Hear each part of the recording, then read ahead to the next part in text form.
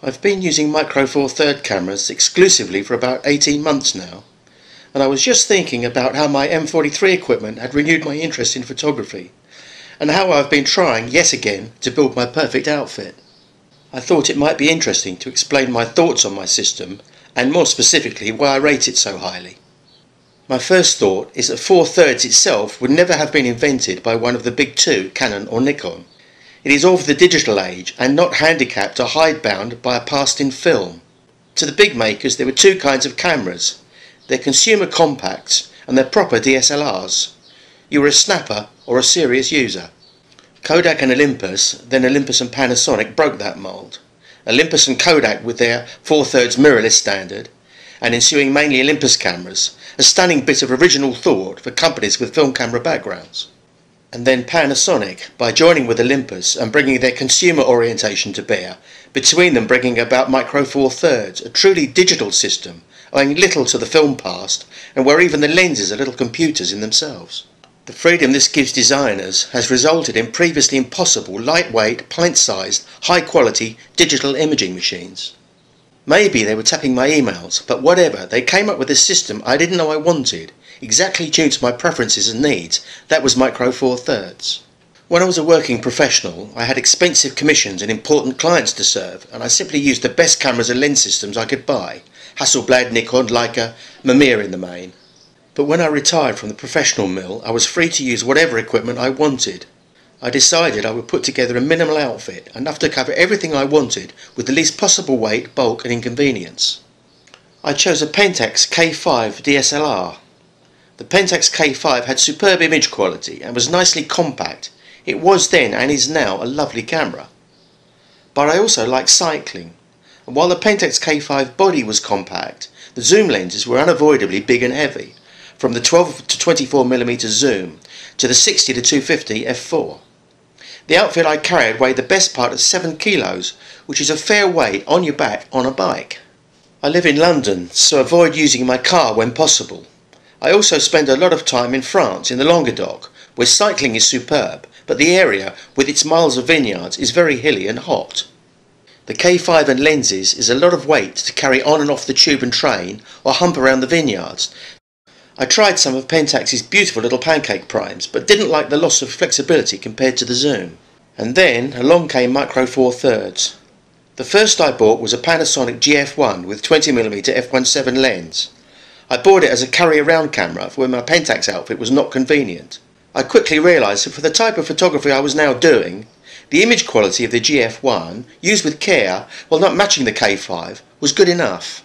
But of course, Micro Four Thirds developed at a pace via the Panasonic GF2, GH2 and Olympus EPL3. When the GH2 arrived with decent electronic viewfinder and better sensor, I thought how convenient it would be to have my carry-around camera and my main camera using the same lenses and accessories. So, with some regrets, I sold my Pentax system and bought a GH2. And then starting with its integrated system, I thought I gradually tried to build my perfect outfit. Here's how it's gone so far.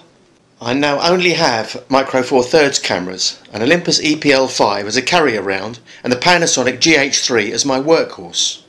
Here is my working outfit. I've taken time and trouble planning it with low weight and bulk constantly in mind, but never letting those considerations compromise photographic productivity.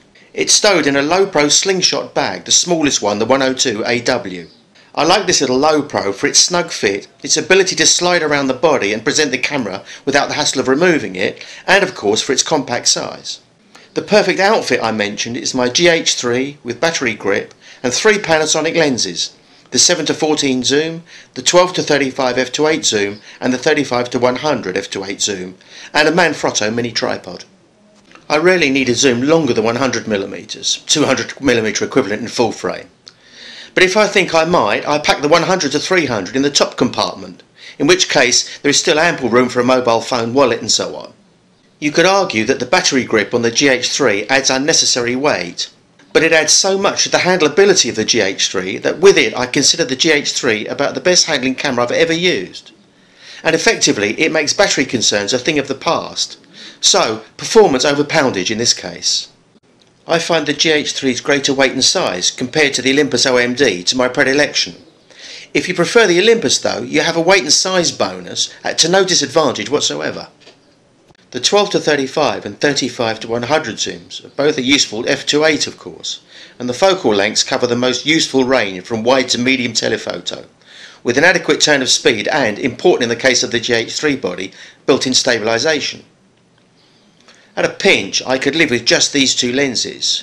There's no macro here, but the 12 to 35 focuses usefully closely. In fact, now I think of it, I might buy a couple of extension tubes to use with it for rough and ready macro. I do really want the 7 to 14 in the bag though. It's a lens which can make a dull picture interesting. It opens up a wide range of viewpoints and sometimes you just plain need it to get everything in.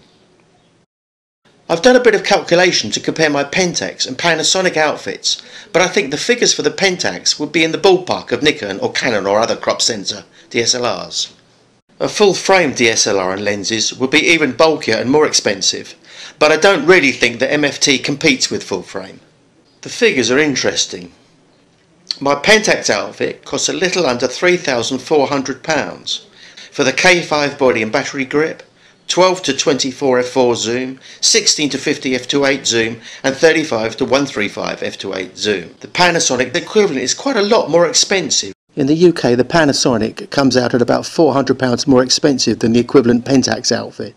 And I imagine a similar price differential would be in place whether you're buying in America or in the Eurozone. Pentax outfit weighs in at 2.7 kilos or 6 pounds. The Panasonic at 1.6 kilos or 3.5 pounds. A saving of 1.1 kilograms or 2.5 pounds, which works out at a 60% weight saving. Okay, what's remarkable about this picture? Well, once it's in focus, in this bag is my full working outfit with mobile phone, wallet and a little Manfrotto tripod. Can you see I'm just holding the whole lot aloft with my little finger, arm outstretched, holding the whole lot aloft with my little finger. Try that with any DSLR. In terms of bulk, the Micro Four Thirds gear takes up about 60% less space than the DSLR equivalent, which means a smaller, lighter bag. The weight and bulk savings are striking and highly welcome. The extra price, I'm less delighted about that, I must say. Still, maybe I'll save the money on osteopath's fees. I have a fair collection of lenses, Panasonic 7 to 14, 12 to 35, 12 to 42 compact, 35 to 100, 100 to 300 and 14 to 140 zooms. Plus a 20mm f1.7 and a Sigma 105 f2.8 which I use for macro. And of course my favourite little lens, my very little favourite, the Olympus 45mm f1.8, which I don't think that anybody who has a micro four thirds camera should be without. The main thing on my wish list is that when Panasonic bring out their 150mm f2.8, they bring out a 1.4 times converter at the same time. A 210mm f4 would be fabulous, equivalent to a 400mm f4 on full frame, and about as long as I ever need to go. If Panasonic do do that, or Olympus for that matter, I'd be a happy photographer. I'd sell the 1 to 300 zoom to fund it, that being the least favourite of all my lenses. It's by no means a bad lens, but from 7 to 100 millimeters I have top grade image quality. And the 1 to 300 millimeter, while good value for money, is not in the same league as my other zooms. High quality lenses from 7 to 400 millimeter, all in one small bag, would be a dream come true and the slowest of them would be F4. Brilliant. I've been singing all the praises so far, but there are some things I don't like. First among them is lens swapping. I hate to see that sensor exposed to the open air every time I change a lens. I wish some kind of blind could be devised that automatically protected it while the lens was out. Although all the cameras have sensor cleaning mechanisms, there won't be many Micro Four Thirds users out there who, if they stop the lens down to f22 and make a picture of a plain white surface, won't see a few dark patches on it at 100% on the computer screen. In the south of France, where I spend quite a lot of time, there's a lot of pollen about in the air, and that actually sticks to the sensor and requires quite a bit of effort with a cleaner to remove it. It might be handy to have the sensor's anti-aliasing filter made replaceable in some future cameras. Then that could just be swapped if there was dirt on it that you just couldn't remove. My second gripe is this. As a result of the smaller sensor, the lenses for Micro Four Third cameras are of shorter focus. A 50mm standard lens view on a full frame is achieved by a 25mm lens on MFT and so on. This shorter focal length yields more depth of field, and that's often very useful. But sometimes you really want to isolate your subject from the background, and it is a pain then. Here's an example. I want to isolate these bottles from the messy background, but my 12 to 35mm zoom at 35mm and f2.8 just cannot do it. A 24 to 70mm zoom at 70mm on full frame, giving the same angle of view and open up to f2.8 would do it nicely. But it's a fact of optics. The solution is wider aperture lenses, but that means primes and carrying an extra lens just for one purpose.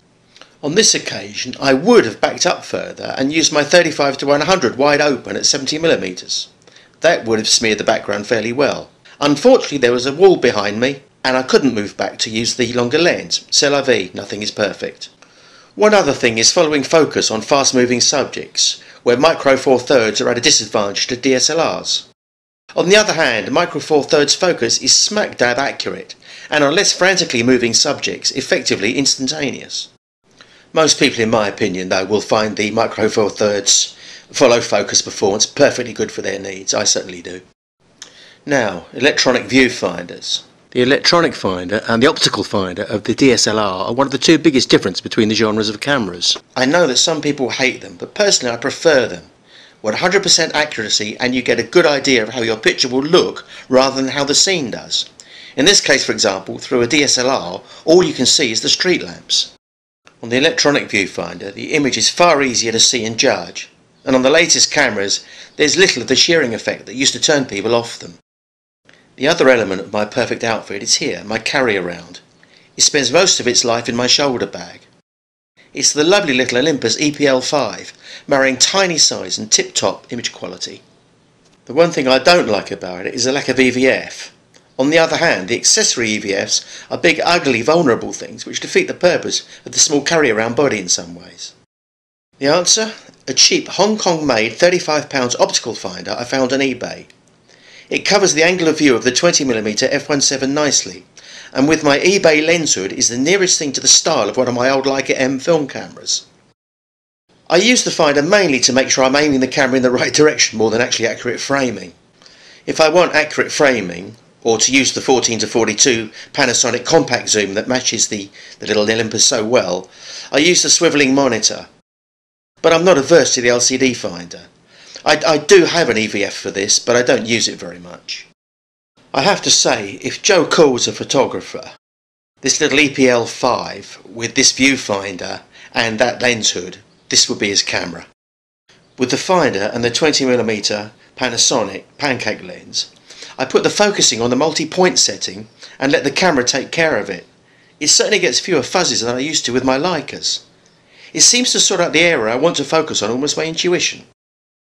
So, summing up, I like the form of Micro Four Thirds from its inception. When the Panasonic GH2 came out, then the high-speed lenses and the Olympus OMD and then the f2.8 zooms, function matched the form and the combination became the Rolling Stones of the camera world. Why the Stones? Because like the Stones, none of the components are particularly sensational on their own, but put them together and they really rock. So there it is, me and my little love affair with the camera system. I'm not sentimental about cameras and lenses, I regard them as white goods in essence. But there's something about these cameras and lenses that makes me enjoy using them in a way that only my Hasselblads ever have before. They are high precision tools but they have character. Oops, now I'm getting sentimental. I'll leave you with a quick run through of the zoom range of the three lenses I carry with me.